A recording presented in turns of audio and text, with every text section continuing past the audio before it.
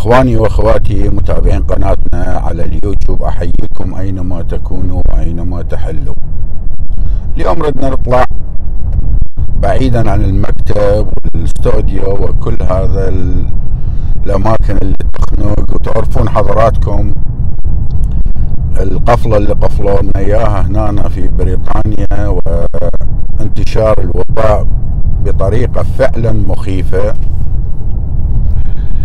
المهم اليوم نريد نتكلم عن الأبواق اللي تمدح وتطبل لبريطانيا العظمى وبريطانيا أم التكنولوجيا وبريطانيا حامية القانون وحامية الدستور اللي ما عندهم طبعا وما عندهم دستور مكتوب. المهم أكو scandal أكو يعني فضيحة كبيرة صار لها يومين الإعلام البريطاني دا يتداولها بشكل مخيف. ووزيرة آه ال Home Office يعني شو يسموها عندنا وزارة الداخلية أو كذا قاعد تلقم على رأسها. لأن بقدرة قادر يعني مو فيروس أو مثلا آه آه اختراق أو كذا لا بفعل فاعل. تم اختفاء 400 ألف ملف إجرامي من قبل أشخاص داخل ما يسمى الهوم أوفيس أو وزارة الداخلية أو كذا. 400 ألف هذا الرقم المخيف 400 ألف فايل لمجرمين واختفاء حوالي 130 ألف آه، تحليل دي إن أي واختفاء أكثر من 130 ألف طبعة أصابع وبصمة عين. هذه العملية ما كانت عملية آه، اختراق أو هكرية أو كذا. باعتراف وزارة الداخلية أو الهوم أوفيس هنا تم مسح هذه الملفات يدويا. يعني أكو شخص موجود في هذا المكان تم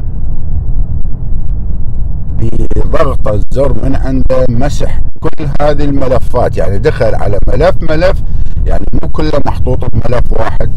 دخل على ملف ملف وبلش يمسح. الناس اللي مطلوبين للقضاء واللي مطلوبين للتحري آه، وأمر القبض عليهم وصل العدد 400 ألف ملف إجرامي تم مسحهم من قبل شخص داخل هذه المنظومة الأمنية. وتعرفون الهوم اوفيس هنا يعني اللي ما يعرف هو المشرف على المخابرات الداخلية والمخابرات الخارجية والشرطة العامة وال CID يعني شلون إحنا نقول مكافحة الإجرام. وكل هذه الأجهزة الأمنية تحت مظلة ال Home Office والوزيرة المشرفة عليه اللي قلنا عنها سابقا بأنه عنصرية ومتطرفة وتكره أي شيء اسمه أجنبي. مع العلم هي أصول هندية ومو مو بريطانية أصلية. فالمهم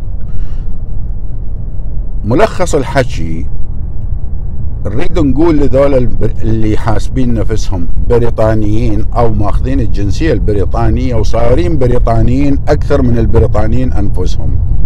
والأدهى من هذا صايرين علامة بالقوانين ويعرفون القوانين البريطانية و و و و و. مثل واحد من ذول الغجر اللي نعرفهم موجودين في بريطانيا إحنا كنا نس نعرف بأنه كانوا يسبون السستاني ويسبون ما أعرف شنو و و و. لمجرد يردون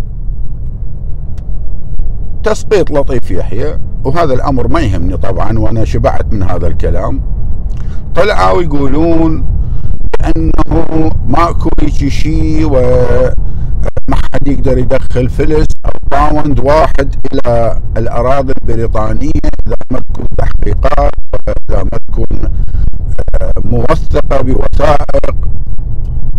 نقول لهذول الجهلة اللي يدعون بأنه ماكو تبييض أموال أو من هذه الأمور اللي موجودة ومتواجدة من الله خلق بريطانيا لأن بريطانيا هي عايشة. يعني إذا ترجعون للتاريخ والحاضر مال بريطانيا عايشة على دم الشعوب. يعني احتلالها لحوالي 700 أو 800 سنة لإيرلندا جمهورية إيرلندا اللي كنت أنا عايش بيها وخريج إيرلندا وعشت بيها تقريبا 18 سنة. هذول عانوا 700 800 سنة من الاحتلال البريطاني. أما آسيا وشرق آسيا والشرق الأوسط فحدث ولا حرج.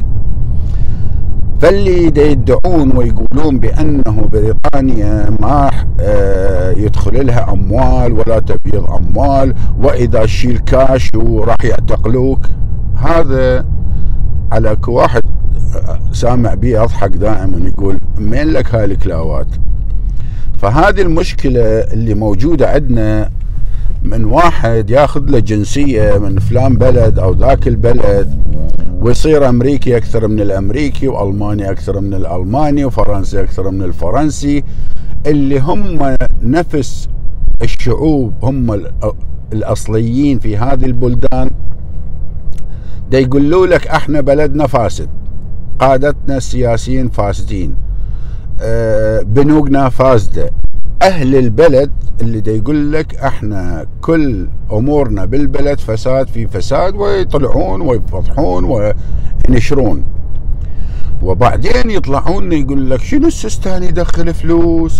وينك شيء طيب أنا أصدقك ولا أصدق نفس الصحف البريطانية اللي قبل حوالي السنتين أو السنة ونص نشرت وقالت بأنه مجمع الخوئي فقط فقط مجمع الخوئي في بريطانيا يملك 54 مليار باون أكرر هذا الرقم 54 مليار باون داخل أرصدة هذا التجمع اللي يسموه تشاريتي أو ما يسموه آه، يعني بال يعني المساعدات الخيرية أو الهيئات الخيرية.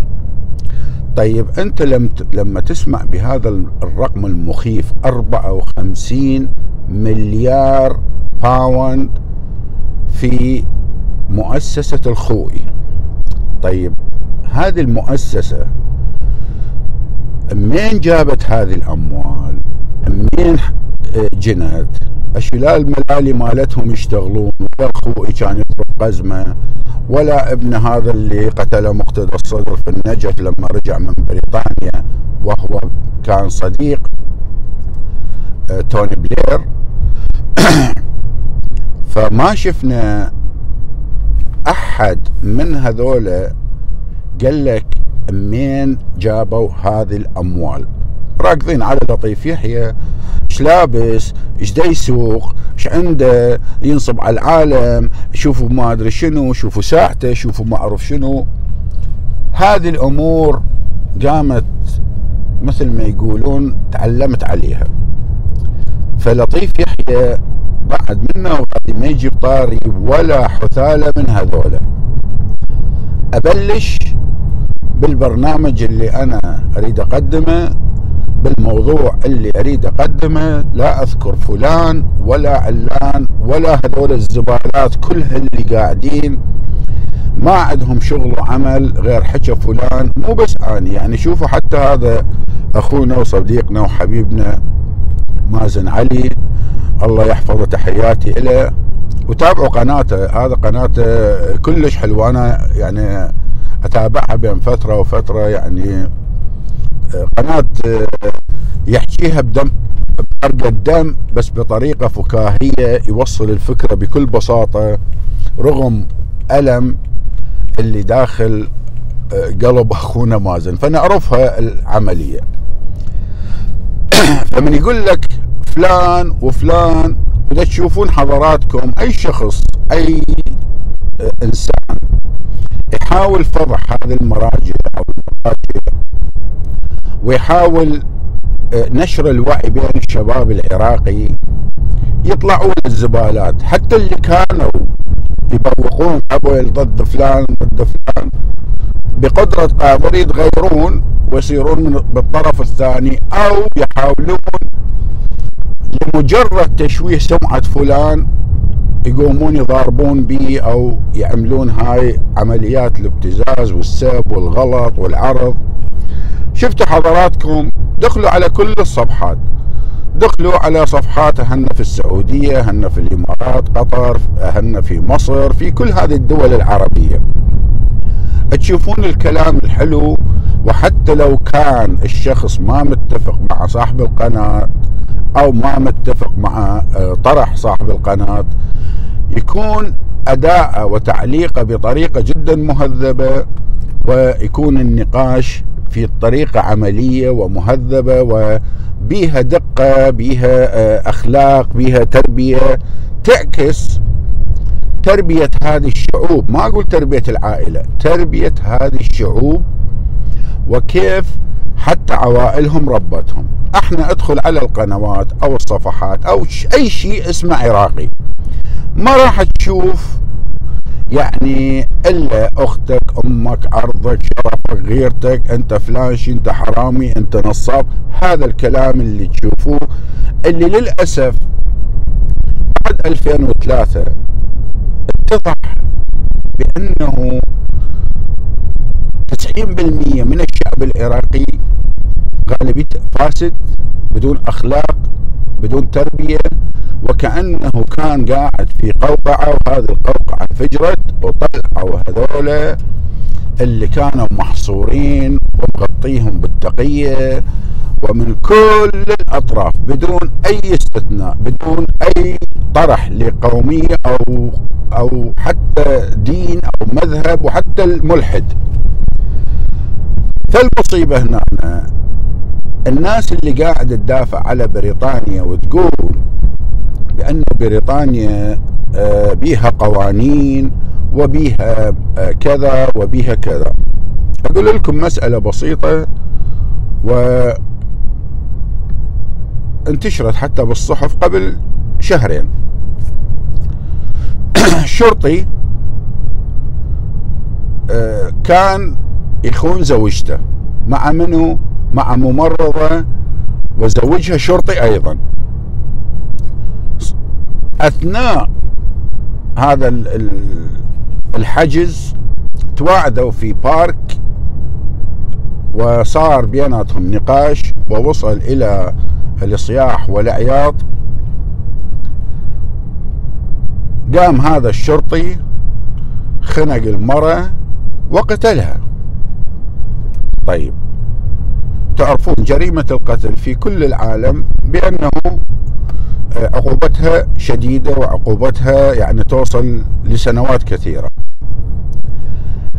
لأنه شرطي ولأنه عند إحدى الوساطات في وزارة الهوم أوفيس أو الداخلية قلبوا القضية وسووها بأنه عنده حالة نفسية وعنده كذا تعرفون حضراتكم هنا أكو يعني تقدر تتحرى عن الشرطي أو كذا.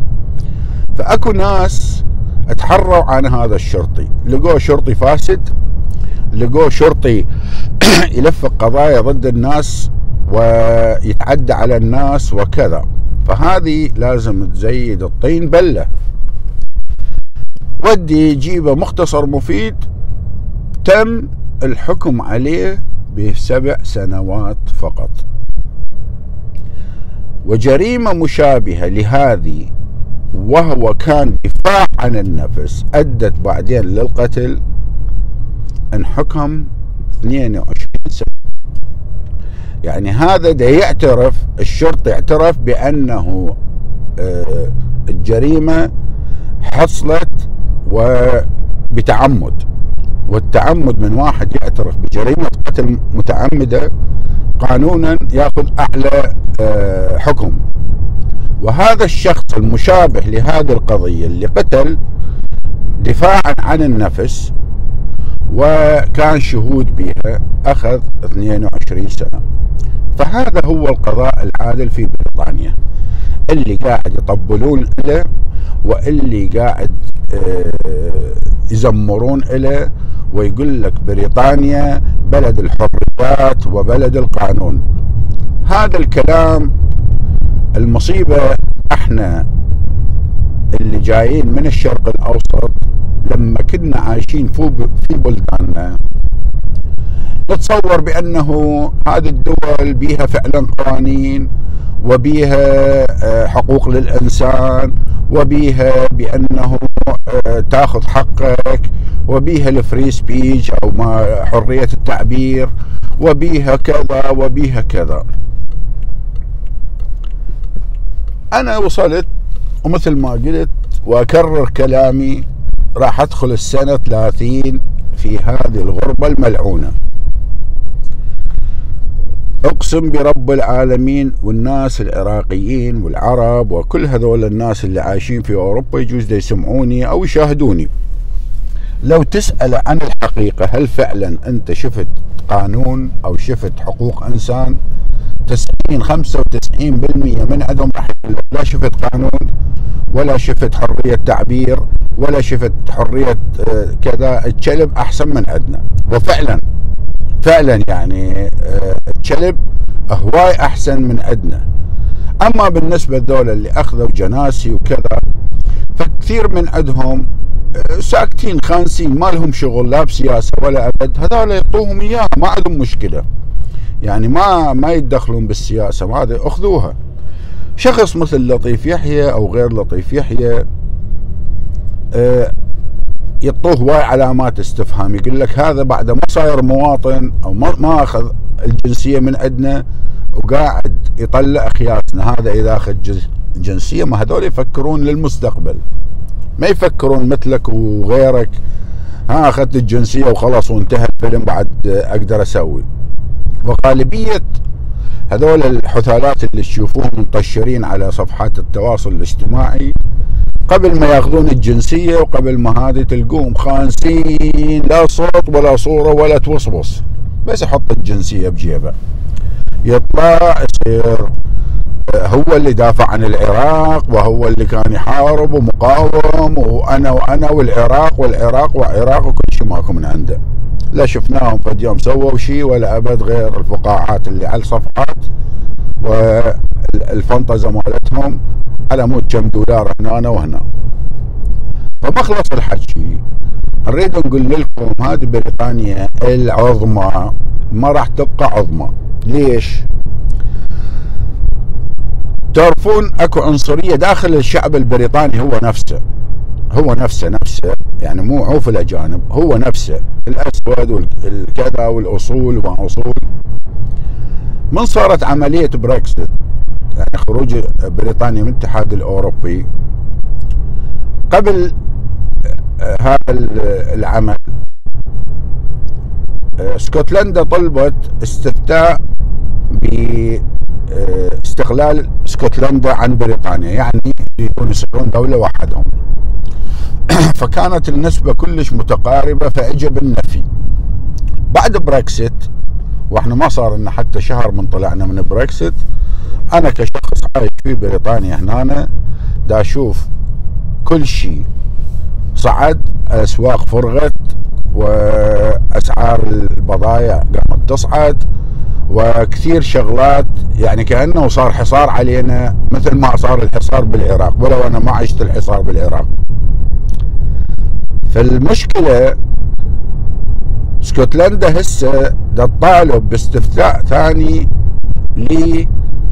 للخروج من الاتحاد آه، من سيطرة بريطانيا. وهذه المرة الاسكتلنديين راح ينجحون بالانفصال عنها. يعني بريطانيا ما راح تكون المملكة المتحدة راح تكون جمهوريات وتفاليس ورب العالمين هذا يعرف شلون آه، ينتقم. شفت بريطانيا احتلت العالم وقسمت الدول ولعبت خلقة بالدول كلها. وعاشت على دماء الناس وبالتحديد العراقيين من 2003 ولحد يوم هذا قاعد تنهب بأياديها المخفية والعلنية داخل العراق عن طريق هذول الزبالات اللي حاملين الجنسية البريطانية وجالسين يحكمون العراق. اندارت الدنيا وهسه بريطانيا راح تتقسم. وهذا العملية راح تخلي بريطانيا من من أحقر الدول. أولا أوروبا بدأت تستحقر أي شيء اسمه بريطانيا. تستحقر أي دولة آه، تتعامل مع بريطانيا. وحتى الاتحاد الأوروبي بينه وبين نفسه يقول راح نسوي بريطانيا عبرة لمن اعتبر. وهذه بريطانيا اللي سموها آه، أم الديمقراطية وأم الكذا. شفتوا؟ بداية الفيديو قلت لكم 400 ألف ملف لمجرمي بريطانيا اختفى. من وراء؟ الله العالم. ليش صارت في هذا الوقت؟ الله العالم. ليش بهذا الوقت تحديدا تخرج ويختفي هذه هذه ال 400 ألف جريمة وطبع أصابع ودي ان اي شنو اللي صار؟ ما حد يعرف. وثاني شيء أسأل كمواطن عراقي بسيط من الشرق الأوسط الغبي؟